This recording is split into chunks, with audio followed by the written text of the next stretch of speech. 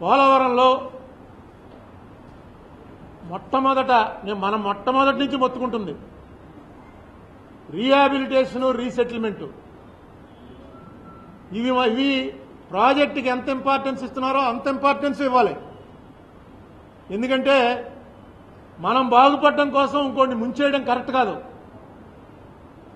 రాజశేఖర రెడ్డికి ఎందుకు వచ్చిందే అంత పేరు అంటే రాజశేఖర రెడ్డి ఏదో పంచి పెట్టేశాడని పేరు రాలా? లేకపోతే చచ్చిపోయాడు కాబట్టి పేరు రాలా. రాజశేఖర రెడ్డిది ఇదే పోలవరానికి సంబంధించి ఒక ఉదాహరణ చెప్తాను. పోలవరం దగ్గర అప్పటికి ఇంకా మన ఆంధ్రప్రదేశ్ ఆంధ్ర తెలంగాణ విడిపోలా. పోలవరంది చాలా పెద్ద సబ్మెర్జెన్స్ ఉన్నటువంటి ప్రాజెక్టు. ఈ ప్రాజెక్టులో ఖచ్చితంగా ఎన్నో వేల మంది కుటుంబాల వాళ్ళు నాశనం అయిపోతారు. ఎందుకంటే ఇప్పటికీ సర్దార్ సరోవరు తైరీ డ్యాము వాటి ఇప్పటికీ సెటిల్మెంట్లు అవ్వలా ఇక్కడేమో అత్యధిక సంఖ్యాకులు గిరిజనులు.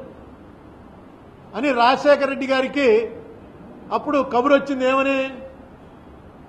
మేధా పాట్కర్ వస్తోంది. మీకు గుర్తెచ్చుకోండి సీనియర్స్కి తెలుసు. మేధా పాట్కర్ విజిట్కి వస్తోంది. పోలవరం. మేధా పాట్కర్ వచ్చింది అంటే మొత్తం నేషనల్ ఇంటర్నేషనల్గా మొత్తం అందరూ కూడా కాన్సన్ట్రేషన్ వస్తుంది. ఆవిడ వచ్చి ఒక ఆరోపణ చేసిందంటే ఇండియాలో ఎంత వాల్యూ ఉంటుందో అంత వాల్యూ ఈవెన్ ఫారిన్ కంట్రీస్లో కూడా ఉంటుంది.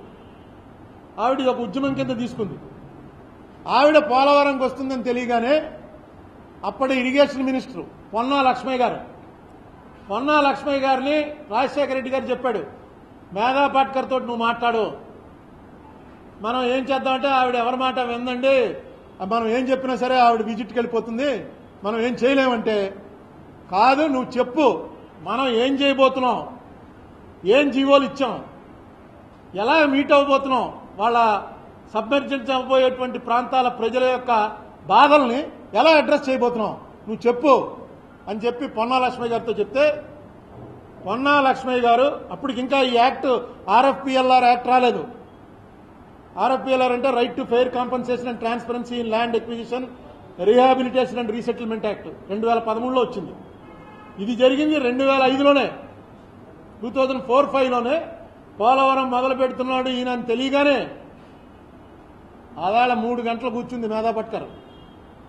పొన్నా లక్ష్మయ్య ఆఫీసర్స్ తోటి మూడు గంటల సేపు కూర్చుంది. కూర్చుని పోలవరం వెళ్ళక్కలేదు ఈ గవర్నమెంట్ చేస్తున్నట్టుగా ఇండియాలో ఉన్నటువంటి ఇలాంటి ప్రాజెక్టులు కట్టే అన్ని గవర్నమెంట్లు కనుక చేస్తే అసలు నా అవసరమే ఉండదని ఓపెన్గా ప్రెస్ వాళ్ళతో చెప్పింది. వేరే ఎక్కడ మీటింగ్ అయినా ఆ మీటింగ్కి వెళ్ళి ఆంధ్రప్రదేశ్లో జరిగినట్టుగా చేయండి మీరు. ఆయన ఏం చేశాడు? రాజశేఖర రెడ్డి రీహాబిలిటేషన్ రీసెటిల్మెంట్కి అయ్యేటువంటి ఖర్చుని ప్రాజెక్ట్ ఖర్చులోనే పెట్టాడు. అంటే ప్రాజెక్టు ఖర్చు వెయ్యి రూపాయలు అనుకుంటే అందులో మూడు వందల రూపాయలు దీనికి పెట్టాడు. పెట్టి ముఖ్యంగా వాళ్ళని అడ్రస్ చేయాలి మనం అని రెండు వేల పదమూడుకు ముందే పెట్టినటువంటి వ్యక్తి రాజశేఖర రెడ్డి. అలాగే అప్పుడు ఎన్ని లక్షల ఎకరాలు అక్వైర్ చేశారు? పోలవరం ఒకదానికే కాదు. ఉమ్మడి ఆంధ్రప్రదేశ్లో జలయజ్ఞం అనేటువంటి తీసుకుని ఇరిగేషన్ ప్రాజెక్టుల కోసం లక్షల ఎకరాలు. ఒక టెన్ పర్సెంట్ కూడా కోర్టుకు వెళ్ళలేదు. మూడు రకాల మూడు అంచెలు పెట్టాడు. ఫస్ట్ ఆ లోకల్గా ఉన్నటువంటి ఎంఆర్ఓ ఎవరుంటారో వాళ్ళ దగ్గర. వాళ్ళు ఇచ్చిన రివార్డు నీకు ఇష్టమో లేదు నచ్చలేదు. కలెక్టర్ అప్పలేట్ కలెక్టర్ దగ్గరది నచ్చలేదు. CCLR appellate.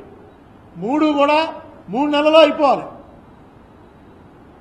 దాంతో కోర్టుకు వెళ్ళే అవసరమే లేకుండా ఆ రోజుల్లోనే హండ్రెడ్ పర్సెంట్ ఎక్సెస్ ఇచ్చి ఎందుకంటే వాళ్ళ భూమి మన కోసం త్యాగం చేసి వెళ్ళిపోతున్నారు వాళ్ళు. అందులో గిరిజనులు అంటే వాళ్ళ లైఫే వేరు. ఆ లైఫ్ని వాళ్ళ ఆ లైఫ్లోంచి బయటికి రాకుండా ఉంటే ఒకప్పుడు ఎలా ఉండేవారు అన్నది తెలుస్తుంది. నెక్స్ట్ వాళ్ళ కల్చర్ ఏంటి? కాపాడుకుంటూ రావాలనేటువంటి ఉద్దేశంతో ఉన్నది. ఈవేళ అదంతా భస్మీపట్నం అయిపోతుంది. వాళ్ళు ఎక్కడ వచ్చి బతకాలి. వాళ్ళు మామూలుగా చింతకాయలు దొరికితే చింతకాయలు దొరుకుంటారు తేనె పట్టుకుంటారు అవి తీసుకొచ్చి మార్కెట్లో అమ్ముకుంటూ ఉంటారు మళ్ళీ వాళ్ళ ఏరియాలకు వెళ్ళిపోతుంటారు.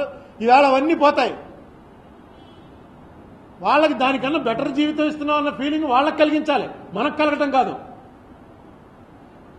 అది జరుగుతుందా ఇక్కడ? ఇక్కడ మేలో జరిగినటువంటి గ్రీన్ ట్రిబ్యునల్ దాంట్లో గవర్నమెంట్ ఎఫిడేవిట్ వేసింది. ఏమని? ఇంకా ఈస్ట్ గోదావరిలో ఉన్నటువంటి ముంపు ప్రాంతాల్లో వాళ్ళది మీటింగ్ పెట్టి అసెస్మెంట్ చేయలేదు. ఎకనామిక్ అసెస్మెంట్ చేయాలి. సోషియో ఎకనామిక్ సర్వే అన్నది ఎనాక్ట్మెంట్ చేయబడింది. ఖచ్చితంగా జరిగి తీరాలది అక్కడ ఉన్నటువంటి వాళ్ళందరితోటి మాట్లాడి సోషియో ఎకనామిక్గా వీళ్ళకి వచ్చేటువంటి బాధలు ఏంటన్నది అది రాజశేఖర రెడ్డి టైంలో యాక్ట్ అవ్వకపోయినా జరిగింది. ఇప్పుడు టూ థౌజండ్ థర్టీన్ యాక్ట్లో అది కంపల్సరీ చేశారు అది ఇంకా ఈస్ట్ గోదావరిలో అవ్వలేదు అని చెప్పి ఎవరేశారు? గ్రీన్ ట్రిబ్యునల్లో గవర్నమెంట్ ఆఫ్ ఆంధ్రప్రదేశ్ వేసింది. ఆ సోషియో ఎకనామిక్ సర్వే ఇంకా అవ్వలేదండి అని ఆరు నెలలు టైం ఇచ్చింది గ్రీన్ ట్రిబ్యునల్ ఆరు నెలల లోపల ఈస్ట్ గోదావరిలో కూడా సోషియో ఎకనామిక్ సర్వే పూర్తి చేసి దాని రిపోర్ట్ ఇవ్వండి అని. మే నుంచి అప్పటికే మొదలు పెట్టేశారు ఇల్లు పడగొట్టడం ఇది తీసుకొచ్చి ఎర్త్ మూవర్స్ బుల్డోజర్స్ తీసుకొచ్చి ఇల్లు పడగొట్టడం అన్ని వీడియోలు చూపించాం మనం. మీరు చాలామంది వెళ్ళారు అక్కడికి. వెళ్ళి చూసి వచ్చారు సోషియో ఎకనామిక్ సర్వే అవ్వకుండా రీహాబిలిటేషన్కి వాళ్ళకి ఏ రకమైనటువంటి ఏర్పాట్లు చేయకుండా మీరు ఎలా పడగొట్టేస్తుంటే పూర్వంలా కాదు ఈవేళ వాళ్ళు చూశారు కదా ఐఏఎస్ ఆఫీసర్ని సాయంత్రం వరకు ఆ కోర్టులో ఉండాలని చెప్పి కోర్టు ఆదేశించింది. ఇంత ముందు ఇలాంటివి ఉండేవి కాదు. ఈవేళ చాలా స్ట్రిక్ట్గా ఉంటున్నారు. భారతదేశం మొత్తం మీద ఇటువంటి యాక్ట్లు తీసుకొచ్చి ఏమైనా వైలేషన్లు కనుక జరుగుతున్నట్టయితే దాని మీద చాలా తీవ్రంగా ప్రతిస్పందిస్తున్నారు. కోర్టులే కాదు ఎన్జిఓలు మీడియా అందరూ వాచ్ చేసి ఉంచుతున్నారు. మీరు ఎందుకు ఈ పని చేయవలసి వచ్చింది? అక్కడ ఆరు నెలలు ఇక్కడ అవ్వలేదని చెప్పినటువంటి వ్యక్తులు పోనీ వాళ్ళని ఏమైనా కన్విన్స్ చేసి వాళ్ళతో వెళ్ళి ఇలాగ ఎంత నీరు ఇప్పుడు అవసరం అర్జెంటుగా ఈ కాఫర్ డ్యామ్ కనుక వేయకపోతే మనకి కృష్ణా జిల్లా అంతా ఎండిపోతుంది అని ఒక మీటింగ్ పెట్టి ఎవరైనా వెళ్ళి చెప్పి మీకు రావాల్సిన మొత్తం ఇస్తాం అని చెప్పారా అంటే జగన్మోహన్ రెడ్డి గారు స్వయంగా వచ్చి పది లక్షల రూపాయలు ఇస్తాను అని చెప్పినటువంటిది అదే మాట ఇప్పటి వరకు అమలు కాల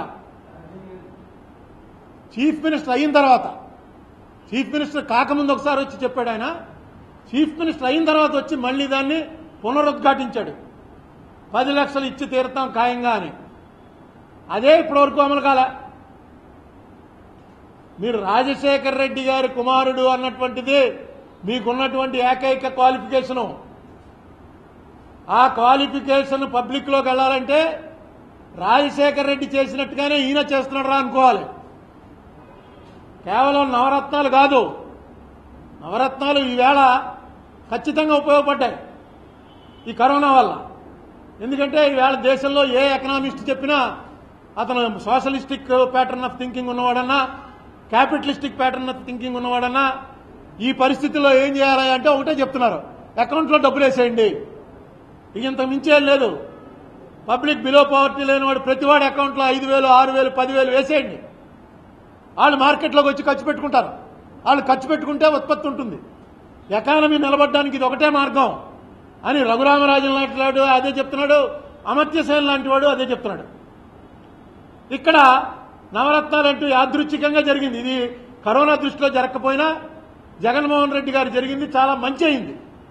బిలో పవర్టీ లేని వాళ్ళకి అకౌంట్స్లోకి డబ్బులు పడడం అనేది ఏదైతే మిగతా భారతదేశం అంతా జరపలేకపోయారో ఇక్కడ సక్సెస్ఫుల్గా జరిగింది. దానివల్ల ఎకానమీ ఏమవుతుంది? ఈ ప్రభుత్వానికి ఎన్ని ఇబ్బందులు రాబోతున్నాయి? ఇవన్నీ కూడా రాబోయే నెలల్లో తెలుస్తాయి. కానీ జరిగింది యాదృచ్ఛికంగా స్టేట్లో ఉన్నటువంటి బిలో పవర్టీ లేని వాళ్ళు మిగతా స్టేట్లలో పడుతున్నంత బాధ పడక్కర్లేకుండా ఉండేలాగా ఒక ఏర్పాటు జరిగింది. ఓకే రాజశేఖర రెడ్డి కొడుకు బాగానే ఇచ్చారా అనుకుంటున్నారు.